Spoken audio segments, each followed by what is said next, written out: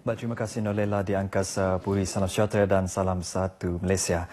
Prasarana pendidikan dan kesihatan terutama di kawasan luar bandar akan terus diberi perhatian dalam memastikan masyarakat di negeri ini menikmati kemudahan sama seperti kawasan bandar. Setiausaha Persekutuan Sarawak yang baru, Datuk Mansur Man berkata, ini kerana banyak sekolah di hospital dan hospital di luar bandar masih memerlukan penambahbaikan dari segi keperluan asas. Dan saya telah pun meneliti sendiri uh, sekolah-sekolah luar bandar. Dan saya nampak memang uh, di sinilah uh, perhatian harus diberikan oleh uh, pihak kerajaan supaya kita dapat uh, mempertingkatkan kemudahan asas lah especially sekolah-sekolah yang dimaklumkan ada lebih kurang 400 buah sekolah daif lah yang kita kena bagi perhatian utama. Yang ni kita akan bawa bincang lah di peringkat kerajaan persekutuan.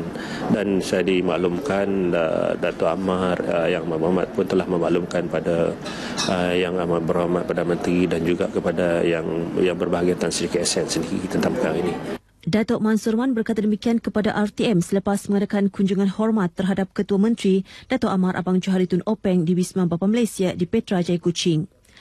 Beliau memulakan tugasnya semalam sebagai setiausaha Persekutuan Berkuat Kuasa 1 Ogos menggantikan Datuk Muhammad Zuki yang telah berpindah ke Jabatan Perdana Menteri sebagai Timbalan Setiausaha Kanan. Sebelum ini beliau bertugas di bahagian pembangunan organisasi Jabatan Perkhidmatan Awam JPA.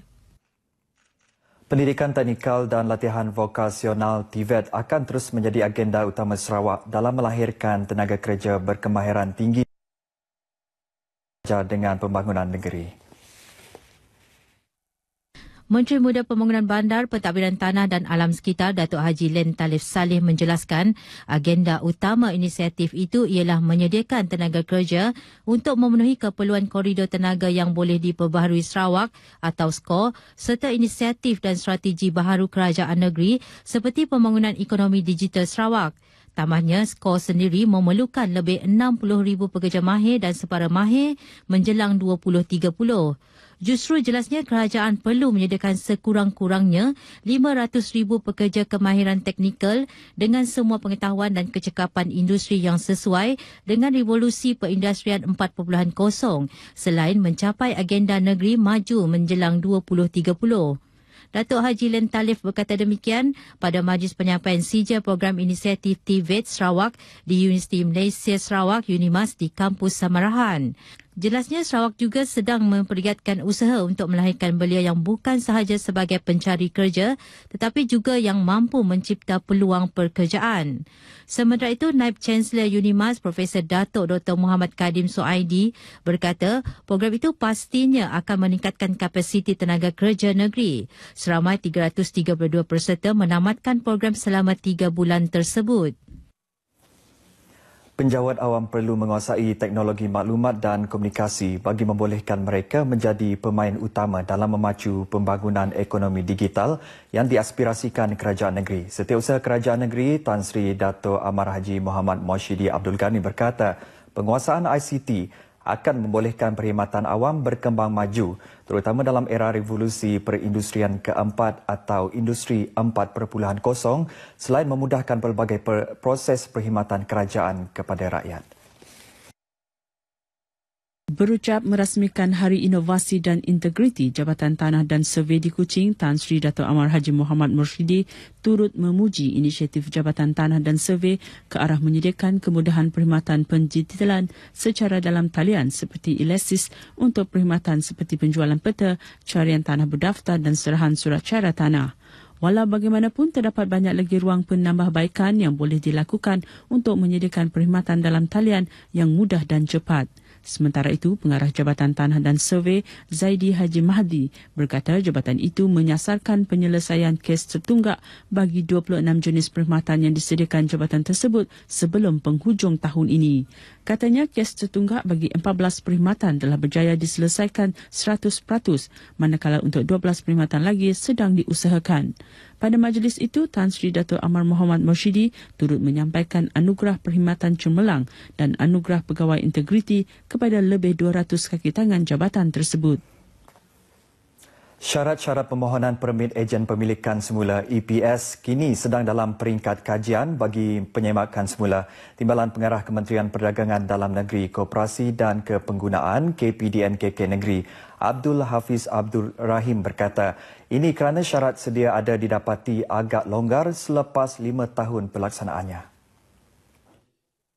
Katanya penyemakan itu perlu bagi memastikan kelulusan permit diberikan kepada pemohon yang benar-benar menjalankan aktiviti pemilikan semula barang dan pada masa yang sama mematuhi akta, peraturan dan kod etika yang ditetapkan. Malah langkah ini diharapkan dapat mengurangkan kes penyalahgunaan permit untuk tujuan yang menyalahi undang-undang seperti jenayah.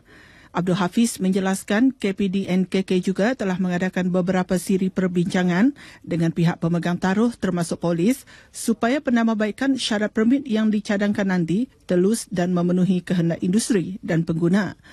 Beliau mendedahkan demikian ketika berucap merasmikan seminar pengukuhan integriti EPS Zon Sarawak di Institut Tabiran Awam Negara Intan di Kota Semarahan. Tambahnya, sejak 2011 hingga Jun tahun ini, KPDNKK telah mengeluarkan sejumlah 15,153 permit EPS di seluruh negara.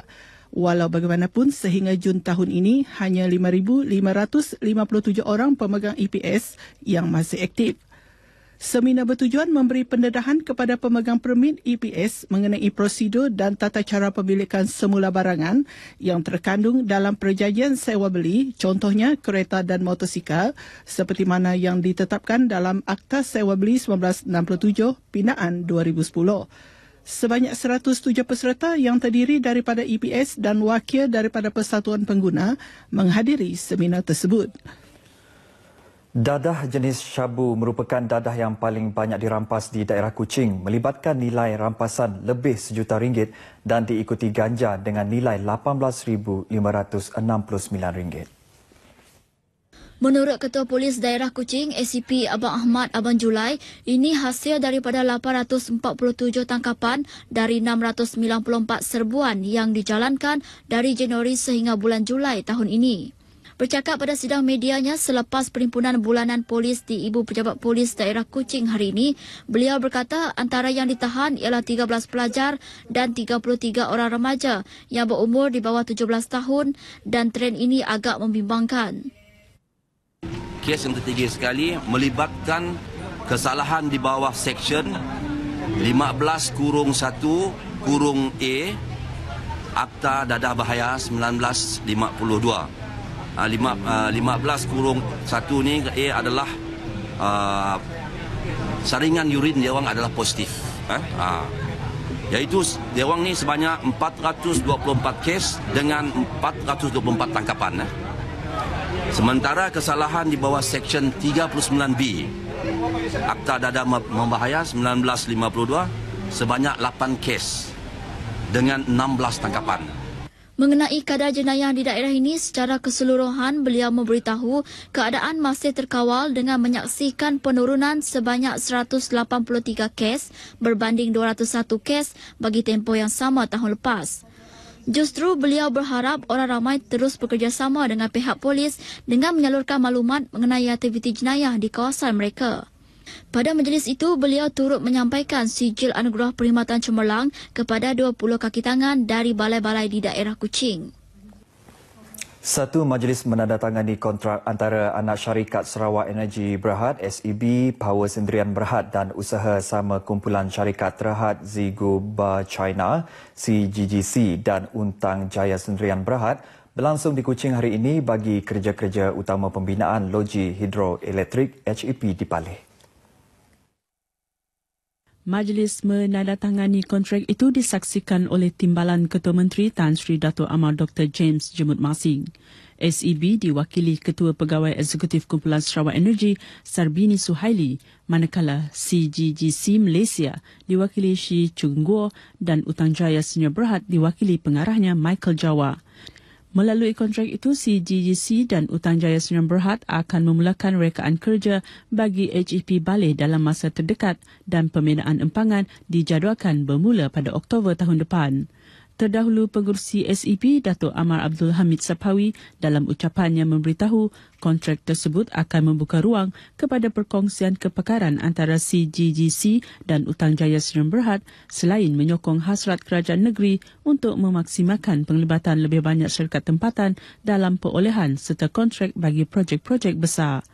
HEP balik yang mampu menjana 1000 megawatt tenaga boleh diperbaharui dijangka ditaulah sepenuhnya pada tahun 2025 menyediakan tenaga tambahan ke arah mencapai visi Sarawak untuk menjadi sebuah negeri maju menjelang tahun 2030. Dalam masa yang sama, pembangunan empangan tersebut juga akan menyediakan sebanyak 3,500 peluang pekerjaan di tapak projek dan peluang perniagaan kepada penduduk setempat.